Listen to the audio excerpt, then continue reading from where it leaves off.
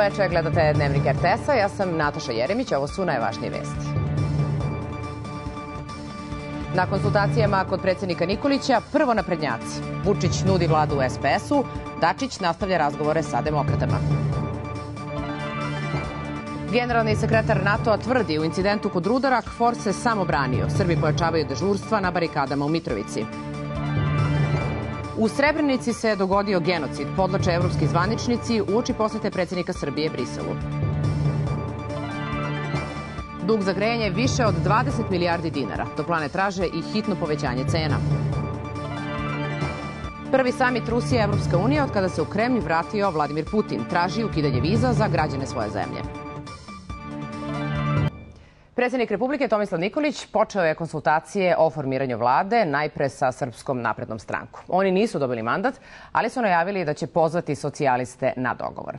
Iz predsednikovog kabineta najavljen je i novi krug razgovora za sredu, kada bi u predsedništvo trebalo da stigne delegacija stranaka okupljenih oko demokratske stranke. Tačno u 11. osmočlana delegacija stigla je na Andrićev venac, lider naprednjaka, njihov kandidat za mandatara i visoki funkcioneri stranke ojačani trojcem Velimir Ilić, Aleksandar Vulin, Dragomir Karić.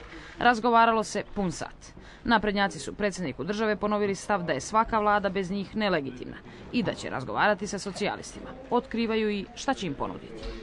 Naš predlog je da vlada ima 12 ministarstava samo, Naš predlog je da zakonom o javnim nabavkama uštedimo oko 600 miliona evra na godišnjem nivou.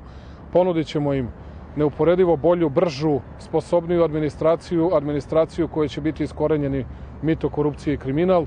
To će biti naše ponude, a o tome ko će šta i kako na koji način da radi to dakle, od personalnim rešenjima ne samo da nismo razmišljali, zaista mislim da nije vreme. Sada je sve na Dačiću poručuje Vučić. Isto je prethodnog dana rekao i Čedomir Jovanović.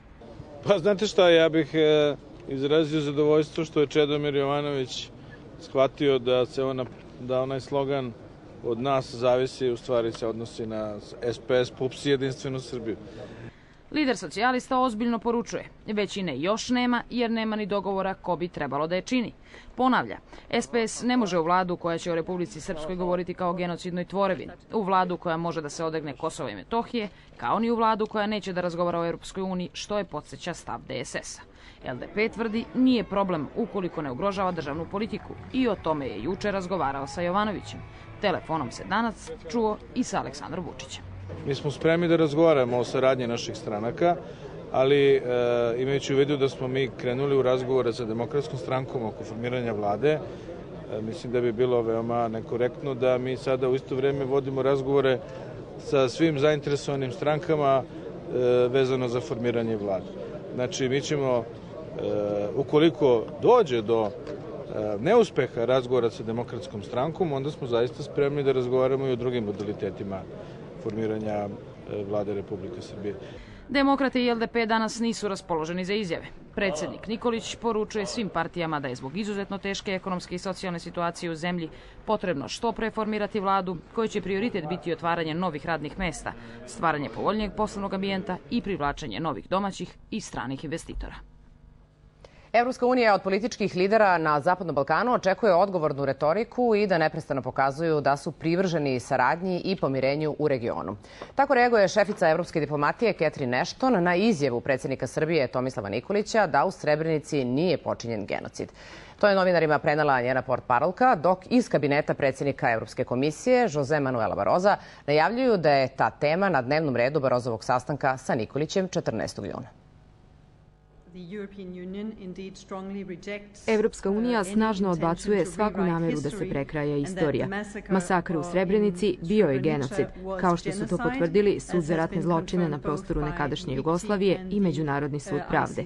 Zločin u Srebrenici u julu 1995. bio je zločin protiv cele ljudske vrste i to nikad ne smemo da zaboravimo i nikad ne smemo da dozvolimo da se dogodi ponovo. Štab za vanredne situacije opštine Kosovska Mitrovica odlučio je da se barikadama na glavnom mostu u tom gradu dodatno zaštiti. Na takvu odluku prinuđeni su, kako kažu, zbog ugrožavanja bezbednosti i lične sigurnosti tokom poslednjeg uklanjanja barikada na severu Kosova. Svi radno sposobni i punoletni građani Kosovske Mitrovice imaju obavezu da u slučaju opasnosti budu na barikadama. Odlukom štaba za vanredne situacije građani Kosovske Mitrovice koji budu konkurisali za posao u administrativnoj kancelariji koju Priština planira da otvori u tom gradu, bit će sankcionisani. Zabranjeno i nošenje oružja kako KFOR i EULEX ne bi imali razlog da reaguju, a barikadu na glavnom mostu će najavljuju braniti. To znači da će građani od sada 24 časa biti pored tih barikada i da neće dozvoliti pripadnicima međunarodnih snaga da te barikade uklone. Istovremeno Srbi na severu Kosova poručuju da neće poštovati odluku Prištine o obaveznoj zameni tablica sa imenima gradova Kosova onima koje imaju oznaku KS ili RKS. Kažu da će, ukoliko im to bude zatraženo na administrativnim prelazima, ponovo koristiti alternativne puteve. U kosovskoj policiji kažu da će odluku sprovoditi na celom Kosovu, pa i na administrativnim prelazima Jarinje i Brnje. To su dve tačke koje se kontroliše od strane EULEX-a i KFOR-a, to je veća njihova nadležnost nego kosovskoj policiji. To sigurno tražit ćemo mi tu našu saradnju zajedno sa EULEX-om kako bismo to zajednički sprovodili ovaj tu naredbu. Od danas će se građani Kosovske Mitrovice prijavljivati ovde na glavnom mostu za nova i dodatno dežurstva na barikadi. Odlukom štaba za vanredne situacije ni vozilima Eulexa više neće ovim ulicama biti omogućen prolaz bez ometanja. Za dnevnik iz Kosovske Mitrovice Biljana Jovičić.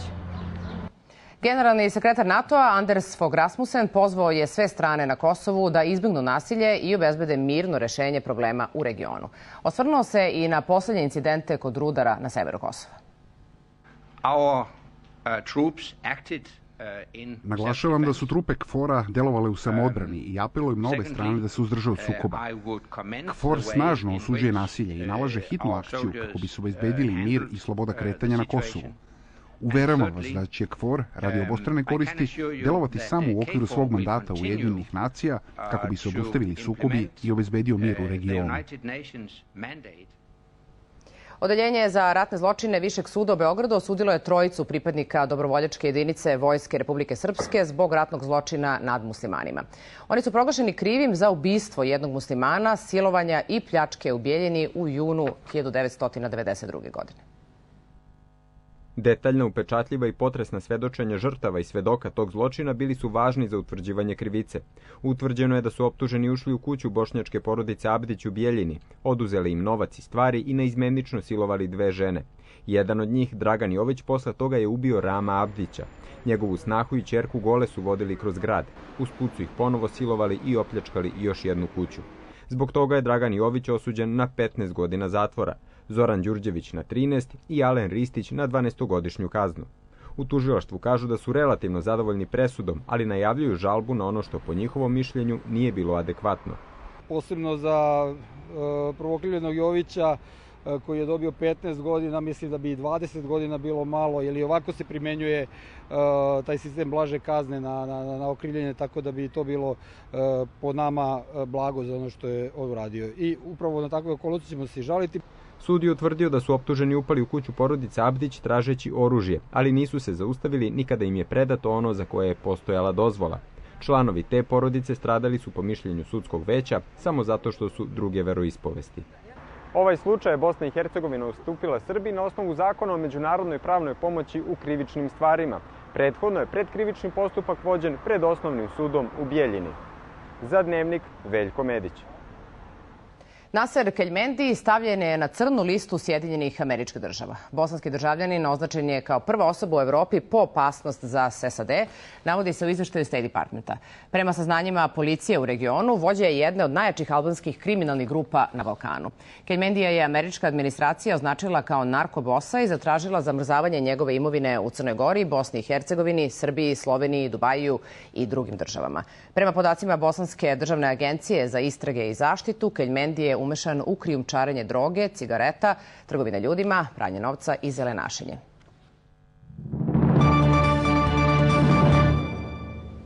Kako bi vlast u Srbiji bila finansijski odgovornija, neophodna je i jača interna kontrola rada državnih organa. Poručuju iz Državne revizorske institucije. Oni će buduće kontrolisati koliko se Srbija zadužuje. Javni dug je više od 14,5 milijardi evra, što je prema oceni Fiskalnog saveta iznad dozvoljene granice od 45% bruto domaćeg proizvoda. Ko i na šta troši novac iz državne kase? Da li je to opravdano? Zbog čega smo prezaduženi? Građani Srbije u buduće bi trebalo da dobiju odgovore na ta pitanja. Uvođenjem revizije svrsishodnosti koju će državna revizorska institucija u skladu sa svojim razvojem uvesti naredne godine, da ćemo svakako poredskim obveznicima kuda ide njihov dinar, kako se troši. Ja mogu da vam kažem da je javni dug u nadležnosti državne revizorske institucije, da smo mi ukazivali kroz poslednja dva izveštaja da taj dug svakako raste, ali upravo uh, je i predmet ove godine posebno poglavlje da ćemo reviziji javnog duga. Sa već velikim javnim dugom Srbiju u narednom periodu čeka štednja. Veliki deo javnih rashoda je direktna posledica populizma u politici, davanja nerealnih obećanja i stvaranja velikih, širokih e, koalicija. Dok se zadovolje svi interesi, dok se zadovolje sva minimalna obećanja, ne ostane zapravo mogućnosti da se na nečemu uštedi. A kako obezbediti rast, a ne prezadužiti državu? Povećanje PDV-a, zamrzavanje plate i penzija za Srpsku naprednu stranku, to su poslednje opcije dok se ne iscrpu sve rezerve u smislu ušteda u samoj državi, bolje naplate poreza, uvođenja sive ekonomije u regularne tokove, smanjenje poreza na plate, da se one ne bi isplaćivale na crno, ne možete govoriti o povećanju poreza na osnovne životne namirnice. Povjerena sa činjenicom da ove godine neće biti velikog privrednog rasta, susedna Hrvatska pokušava da se obračuna sa velikom javnom potrošnjom. Recept koji predlaže premijer jeste reforma javnog sektora i ukidanje povlastica koje imaju zaposleni u toj oblasti. Velika zaduženost nije samo muka Srbije. Članice Evropske unije uveliko se bore sa krizom javnog duga koja je dovela do novih otpuštanja i sporijeg oporavka. Pritom evro gubi trku u odnosu na dolar i funtu.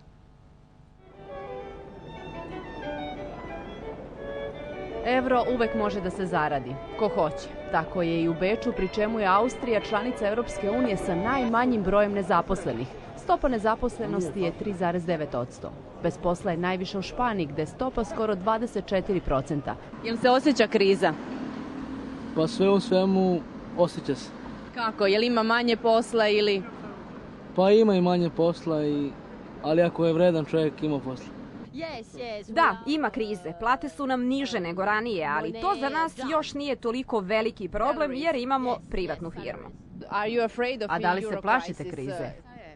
Da, zabrinuta sam jer to ne možete da stavite sa strane, a ne verujem političarima kada kažu da će sve biti u redu. Dok političari obećavaju da će izvući eurozonu iz krize, ekonomisti sa kojima sam razgovarala ovde u Beču su oprezniji u izjavama i kažu da će oporavak biti spor, a opet čini se da svako od njih više vodi računa o svojoj valuti. Ovo svakako nije dobro vreme po evro, a grčka kriza je dovela u pitanje i njegov opstanak. Kada se dovedu do ivice, evropljani znaju šta je važno. Više posla i više mogućnosti za razvoj. Evropa je i ranije bila pred velikim iskušenjima i ja sam uveren da će se oporaviti od krize i samim tim da će evro opstati.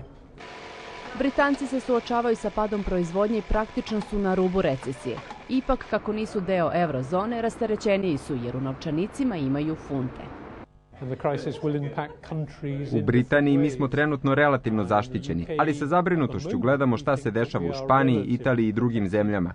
Mi imamo funtu i u boljoj smo poziciji i verujem da će funta da preživi, dok je za evro to teško da se prognozira.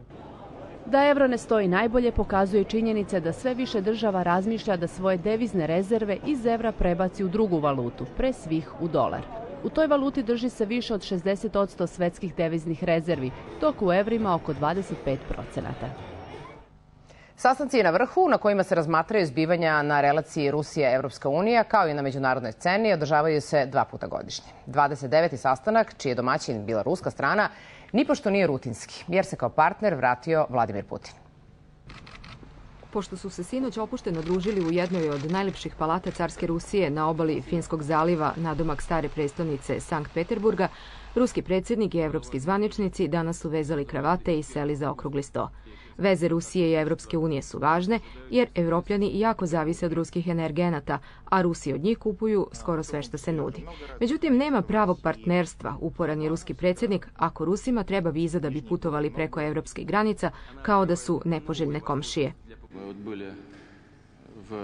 Bili smo nedavno u Berlinu i Parizu u pratnji velike grupe naših novinara koji su dobili vize na jedan dan. Pošto je konferencija za novinare trajala do kasno, bili su slučajni sa mogućnošću da im vize isteknu. Šta je trebalo da urade? Da ustanu i odu. Nije to pitanje toliko važno sa političke tačke gledišta, koliko sa ekonomske i humanitarne. Svako međutim ima svoj cilj. Evropskim zvaničnicima trenutno je najvažnije da dobiju podršku Moskve za izlaz iz sirijske krize, jer veruju da ona ima jak uticaj na zvanični Damask. Naše i ruske procene se možda razilaze, ali se slažemo da Ananov plan pruža najbolju mogućnost da se prekine ciklus nasilja u Siriji i nađe mirno, trajno rešenje.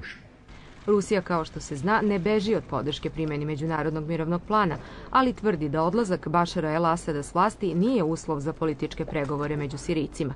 Ni ovaj samit nije smanjio jaz između Brisela i Moskve po tom pitanju. Uzrok jučerašnje nesreće u kojoj je poginulo najmanje 153 ljudi kada je putnički avion udario u dvospratnu zgradu u nigerijskom gradu Lagosu još nije poznat. Pretpostavlja se da ima još poginulih u srušenim zgradama. U Nigeriji je trode, nažalost. Dok je Boeing MB-83 na lokalnom letu iz Abuđe pokušavao da sleti na aerodromu Lagosu, pilot je javio da ima problem sa motorom.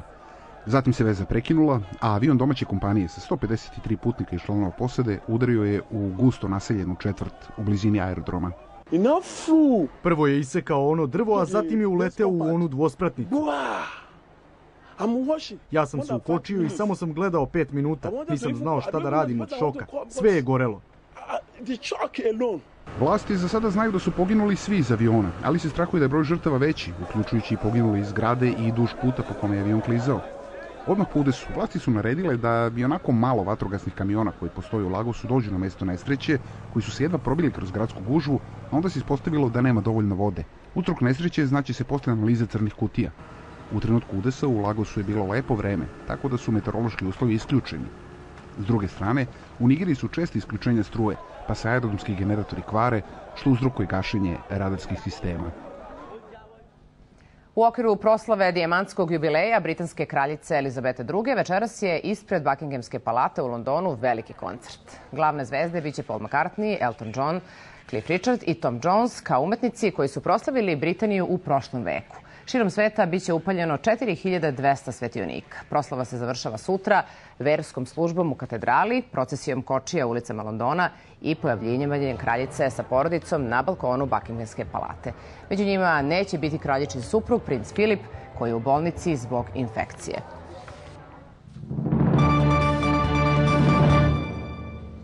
Toplane u Srbiji su u sve većim dugovima. Razloke kažu slaba naplata računa i neekonomske cene grejenja. Dug toplana za potrošeni gas i mazut premašuje 29 milijardi dinara. Istovremeno domaćinstva i privreda za grejanje duguju čak 23 milijarde. Zbog sve skupljih energenata neizbežno je i poskupljenje grejanja.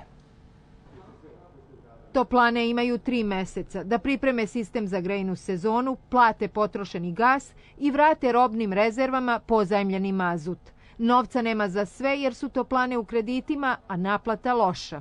Da svaka toplana za sebe, odnosno svaki grad kao osnivač, mora zajedno detaljnije analizirati ukupno prethodnu grejnu sezonu, strukturu cena koju ima i zavisno od vrste energenata koji koriste i napraviti neke nove cene nove cene za narodnu sezonu. Neki već dižu cene. U Boru je prihvaćen predlog toplane da grejanje od ovog meseca poskupi 20%, jer su, kažu, bili najjeftiniji. Mnoga domaćinstva nisu se rešila ni starih dugova. Ne plaća redno račune, znači kasni po mesec dana, dva, kako stine novac, tako pretekne, tako plaća. E. Trudimo se da ne kasnimo sa plaćanjem, ali, ali sve teže i teže. Grejanje mislim da je ipak skupo za, za naše prilike i da jednostavno ljudi će sve teže i teže moći to da plaćaju. U udruženju Toplana računaju da bi ekonomska cena grejanja trebalo da bude 110 do 120 dinara po kvadratnom metru. U poređenju sa sadašnjim cenama to bi značilo poskupljenje od 30%. Nekima treba i više. Međutim, teško je očekivati da lokalne vlasti odobre taj procenat. Daćemo sada zahtev za povećanjem cena, ali apsolutno nemoguće povećati cenu za neki 50% ili više od toga. Tako da apsolutno problemi ostaju. Iz lavirinta dugovanja mogu izaći, kažu, samo uvođenjem naplate grejanja po utrošku, što je praksa u zemljama Evropske unije. Takvu naplatu ima samo Subotica, Šabac i Bečej, a deset gradova eksperimentalno. Požar koji je oko podneva izbio prostorijama kancelarije kluba Stefan Brown u Beogradu brzom intervencijom vatrogasaca je ugašen i nema povređenih. Vatra koja je izbila na devetom spratu zgrade zahvatila je oko stotinu kvadratnih metara, a Sarajevska ulica bila je zatvorena za saobraćaj. Načelnik sektora za vanredne situacije MUPA Srbije, Predrag Marić, kaže da kako se požar nije dogodio u diskoteci, nema razloga za zabranu rada tog kluba, jer je neko ostavio opušak u kancelariji koja je deo celog kompleksa. Od 1200 ugostiteljskih objekata koje je protivpožarna inspekcija proteklih nedelja prekontrolisala u Južnom Banatu, pet nije dobilo dozvolu za rad. Među njima je i kafe bar Dama u Idvoru, gde se preksinoć dogodila tragedija u kojoj je troje ljudi poginulo, a osmoro povređeno. Protivpožarna inspekcija Ministarstva unutrašnjih poslova administrativno je zatvorila i zapečatila sve ulaze u kafe Bar Dama u Idvoru, gde je preksinoć u eksploziji ručne bombe život izgubilo tri, a povređeno osam osoba. Dok je istraga zvanično još uvek u toku, detalje ove tragedije glavna su tema među meštanima Idvora. Osjećam se uopšte sigurno. Sutra će moja deca da krenu u centar, da izlaze, uopšte se ne osjećam sigurno. Bila je velika gužva juče ovde, a danas kako je u selu? Pa bila je juče, sad vidite kako je. Nema nikog sad. Prošlo je ono najgore. Sad samo da sredimo utiske i da vidimo kako i šta da radimo, da se slučajno ni ne ponovi nešto slično. U Idvoru se trenutno najčešće postavlja pitanje kako je moguće da je, iako zvanično zatvorene rešenjem inspekcije 30. aprila zbog 12 neispunjenih stavki o bezbednosti gostiju, kafe Bar Dama i dalje radio. Da li inspekcija mogla i tek obne večeri par sati pre incidenta zatvoriti kafić? Nije postojala mogućnost da se da se tog momenta, znači, postala je dobra volja, ali on, on je odbio. On je odbio da nije postalo načina da, da mi sad, da taj broj ljudi tu, koleginica i par kolega koji su u civilu, tako dalje, da istare goste, da zatvore to gde je bilo po mom saznanju preko 50. Tada, tada preko 50. Nakon datog iskaza u policiji protiv Svetislava Belića, vlasnika kafea Dama u Idvoru, podneto je nekoliko prekršenih prijava, dok će se oko lične odgovornosti vlasnika nadležni pravosudni organi tek uglasiti. Prema podacima policije, u proteklih nekoliko meseci došlo je do porasta maloletničkog kriminala. Prepuštena ulici, ta deca često su izložena rizicima, od sitnih krađa do trgovine ljudima. Program intenzivnog tretmana u prevaspitavanju maloletnih delinkvenata daje rezultate. Zbog sitnih krađa, 17-godišnjak je postao maloletni delikvent sa višegodišnjim kriminalnim iskustvom. U krađe isu sam za društvima i smo odbijali smo radnju i uzeli smo ovaj novac. I Odakle ste uzimali novac? Pa iz kase. Sada vidim da je to sve pogrešno i kajem se zbog toga. Naš sagovornik je kažnjen sudskom vaspitnom merom u trajanju od dve godine u Beogradskom zavodu za vaspitanje dece i omladine na Voždovcu. Ono što je danas karakteristično kod te dece, to je agresija usmerena prema e, imovini. Nema agresije prema sebi, agresija usmerena s polja. Zabrinjava podatak da sve više maloletnika u sukobu sa zakonom potiče iz normalnih porodica. Radi se o deci koja žive u svojim porodicama, koji imaju oba roditelja, koja pohađaju nastavu, ali vremenom dolazi do manifestovanja poremećaja ponašanja, koji su u poslednje vreme najčešće ogleda u činjenju krivičnih dela. Kako ističu u vaspitnom zavodu, mlađi maloletnici koji su prepušteni ulici suočeni su sa životnim rizikom od sitnih krađa do trgovine ljudima. Zato se u zavodu sprovodi takozvani PIT program za dečake do 14 godina, kojima mere socijalne zaštite nisu pomogle. Prilike to jedno dete, tu neku materijalnu štetu na, na mesečnom nivou može da nanese i do milion dinara svojim ponašanjem, a čitav program za šest meseci, za sedmoro dece, troškovi su negde oko 600.000 dinara. PIT program je doneo rezultate jer je 187 maloletnika uličara u zavodu promenilo svoje agresivno ponašanje. Posebno zabrinjava porast maloletničke delikvencije u prvih nekoliko meseci ove godine. Prema podacima kriminološkog istraživanja, mlađi maloletni delikventi od 14 do 16 godina sve više učestvuju u vršnjačkim sukobima i sitnim krađama, dok oni stariji od 16 do 18 godina upuštaju se i u teža krivična dela poput razbojništva. Jedna od najpopularnijih pozorišnih glumica, Seka Sablić, dobila je monografiju. To je sastavni deo nagrade Dobričin prsten za životno delo, koja je uručena 2010. godine. Ako bi se tražio naslov knjizi, mogao bi da glasi sve o Seki.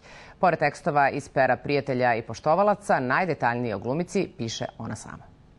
Rođena na Čuburi 42. igrala se na Kalenićevoj pijaci i jela hleba sa gušćijom mašću.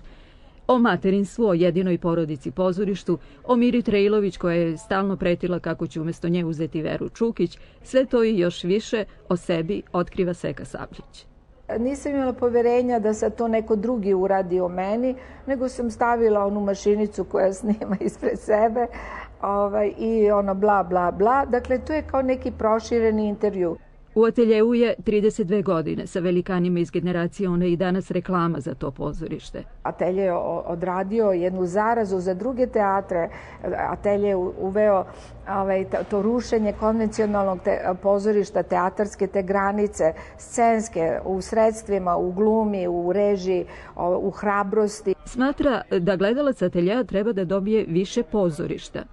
Tu ima mnogo predstava koje ja ne bih rekla da su teatri, to možda se kaže da su tribine, kao što je, na primjer, ova politička tribina koja je odlična, ovaj Đinđić. Moraš ti da ponudiš čoveku i kostim, i scenografiju, i dobru glumu, i lik, i priču, i da, da izađe uzbuđen iz teatra, da izađe oplemenjen. A, a, a mislim, ovo su ipak neke, to su neke alternative.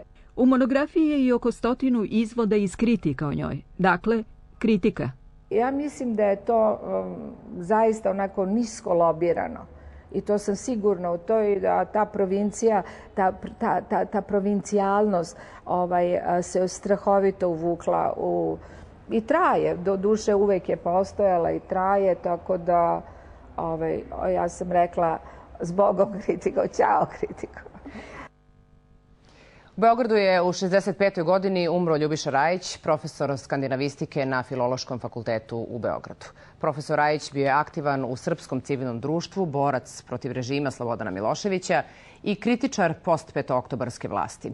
Osnivač je katedre za skandinavistiku na Filološkom fakultetu. Biće upamćen kao jedan od najcenjenijih stručnjaka u oblasti skandinavskih jezika. Sahrana je u četvrtak, 7. juna u 14.30 na Novom groblju u Beogradu. Na groblju u Zemunu sahranjen je jedan od najvećih teologa današnjice, protojerej Stavrofor Radovan Bigović. Osim porodice, brojnih prijatelja i poštovalaca, sahrani su prisustovale mnogobrojne ličnosti iz javnog života. Radovan Bigović rođen je 17. januara 1956. godine u Nikšiću. Završio je dva fakulteta, pravoslavni i bogoslovski, na kome je i doktorirao, i filozofski u grupi za filozofiju. Jedan je od osnivača Hrišćanskog kulturnog centra i njegov višegodišnji predsednik.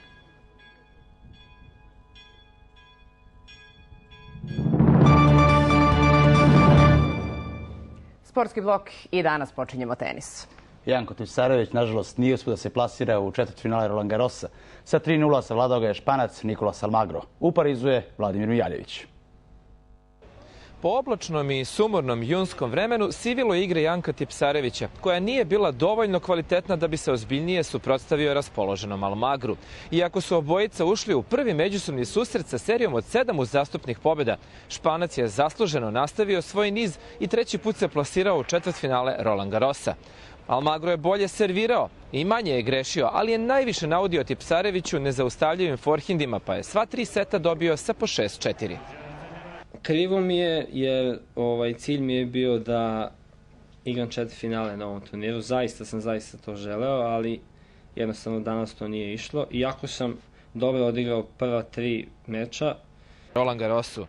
Francuz je vratio istom merom Vavrinki za prošlogodišnji poraz u pet setova i u petom pokušaju najzad prošao među osam najboljih na parijskoj šljaci. Iako je tvrdio pre turnira da ni jedan od domaćih tenisera nema šanse da osvoji trofej evidentno je da ću morati da igram mnogo, mnogo bolje kako bi imao priliku da pobedim taj četvrtfinalni duel kogod bio sa druge strane mreže, bit će ovaj jako, jako nezgodan meč.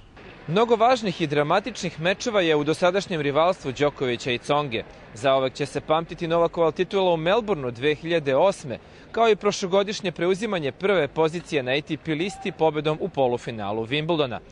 Francuzi čekaju na šampiona Garosa već skoro tri decenije, pa će 15.000 gledalaca na Šatrijeu, kao i bar još 5.000 ovde na trgu musketara, zdušno bodriti Congu. Đoković mora da bude jači od svega toga i pobedom zakaže novi duel sa Federerom ili Del Potrom. Iz Roland Garrosa, za dnevnik RTS-a, Vladimir Mijaljević. Prošlogodišnju šampionku, šampionku kineskinju Na Li danas je eliminisala Jaroslava Šedova. Duel Đokovića i Conge očekuje se da počne sutra oko 16 časova. Odbojkaši Srbije sutra u 9 sati u Tokiju igraju treći meč na kvalifikacionom turniru za plasman olimpijske igre. Rival je Kina, direktan prenos na RTS-u.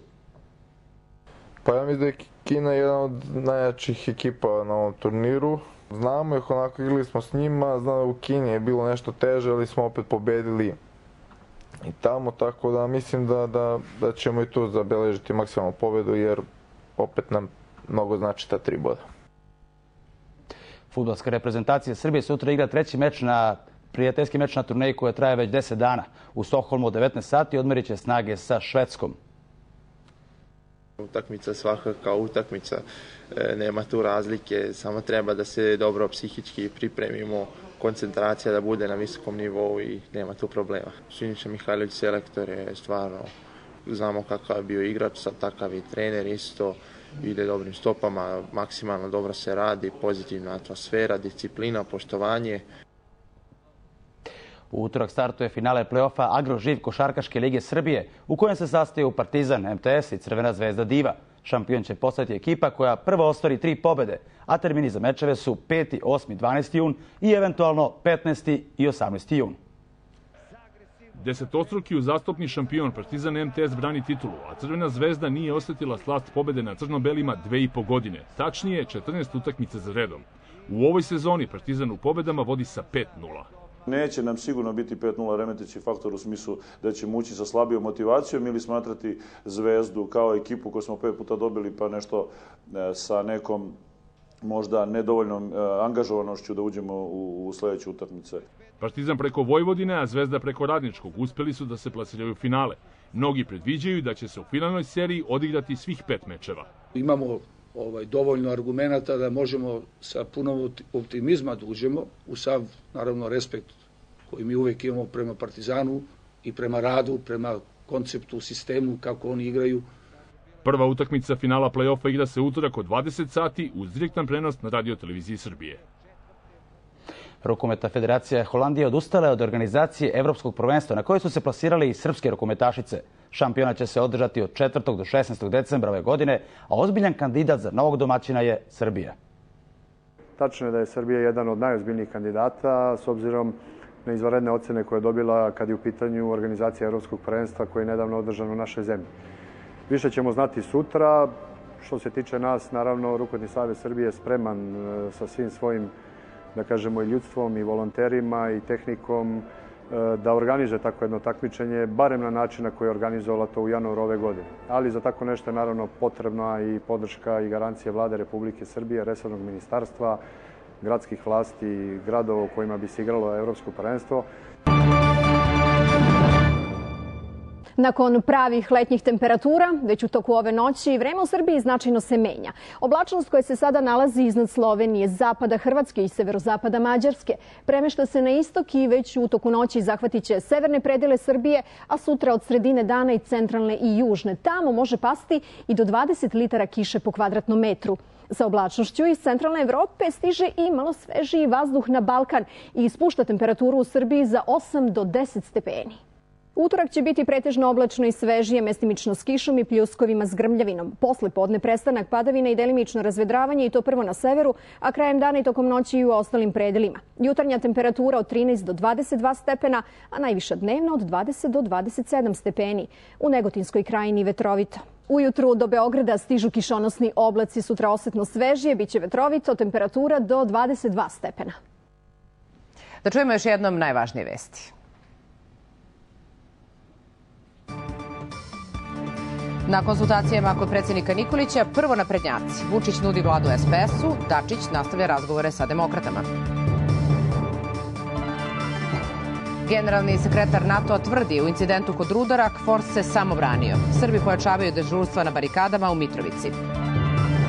U Srebrenici se dogodio genocid, podlače evropski zvaničnici u oči posete predsednika Srbije Briselu. Dug za grejanje više od 20 milijardi dinara, toplane traže i hitno povećanje cena. Prvi samit Rusija Evropska unija od kada se u Kremlju vratio Vladimir Putin, traži ukidanje viza za građane svoje zemlje. Moraću da igram mnogo bolje nego juče, kaže Novak za RTS, u oči meča protiv Conge na Roland Garros. Gledali ste dnevnik od 21 i 55, gledajte upitnik. Tema Nova vlada, ključ u rukama manjih stranaka. Gosti su Rasim Ljajić, Nenad Popović i Suzana Grubješić. Ostanite i dalje uz RTS. Prijetno večer.